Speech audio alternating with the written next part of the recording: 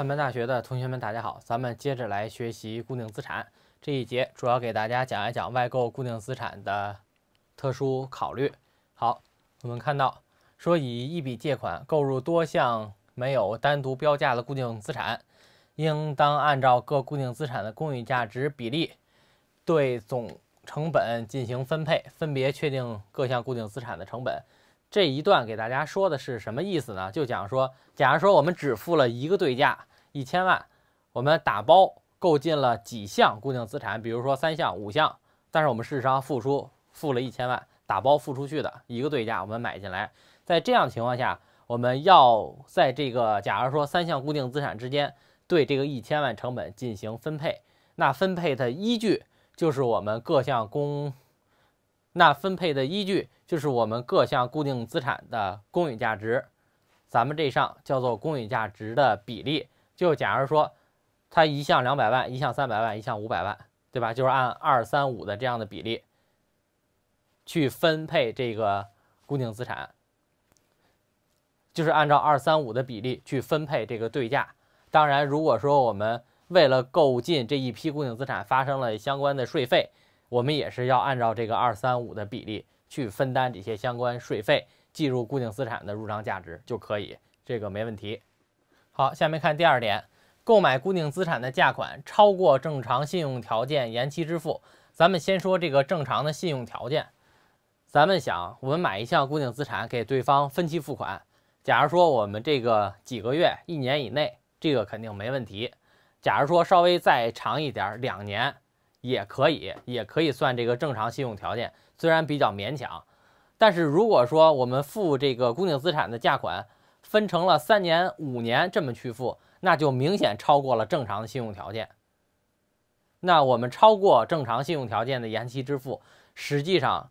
具有这个融资租赁的性质了，或者叫做具有这个融资性质了。在这样的情况下，我们固定资产成本要以购买价款的现值。为基础确定，那怎么叫以现值为基础确定？就假如说说我们还是这个五百万分五年，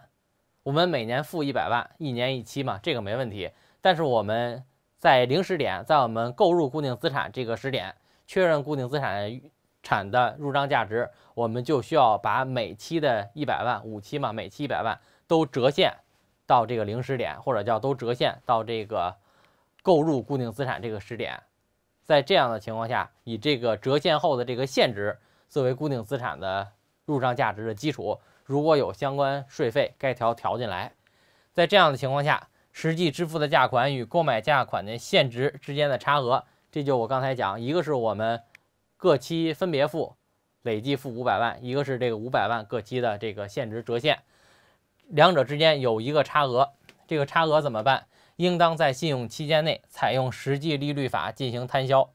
并且这个地方说，所谓讲说实际利率，往往考虑的就是我们对这个每期的付款额进行折现的时候用的那个折现率，就是实际利率。说摊销金额除满足借款费用资本化条件，应当计入固定资本，应当计入固定资产的成本以外，剩下的应当予以费用化，计入当期损益。所以这个讲的就是说，如果我们满足这个资本化的条件，那就资本化；否则就费用化。我们后面还要再展开说这个事儿。好，我们下面说，那具体的账务处理，我们在建工程或者是购定资产，那就看如果需要安装的是在建工程，如果不需要安装的，那就是确认成固定资产。说这个是购买价款的现值，这个现值大家要一定要注意。写完借方之后，我们看贷方是长期应付款，长期应付款是未来应付本金和利息，这个就是我讲的。我说，假如说我们每期付一百万，分五期，那这个地方就写的是五百万，两者之间的差额是计入未确认融资费用。如果按照咱们这个摊余成本和实际利率法的角度上讲，长期应付款是未来应付本金和利息。这个是未来应付利息，那我们上面在建工程其实入的就是这个本金，本金就叫现值。